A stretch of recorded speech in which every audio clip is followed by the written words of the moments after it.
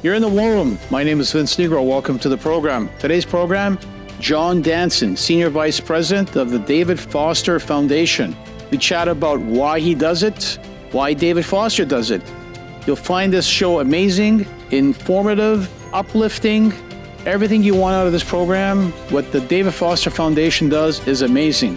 Stay tuned and you'll catch a great interview with John Danson, Senior Vice President of the David Foster Foundation. Well, first of all, we will support every single family who needs the financial help. So, whatever that is, that's our goal to have enough money to do Right. that. Originally, it was $30 million in endowment, and based on the investment, we use that money to look after the families on a year to year basis. So, our, we now raised the, the bar from 30 million to 50 million.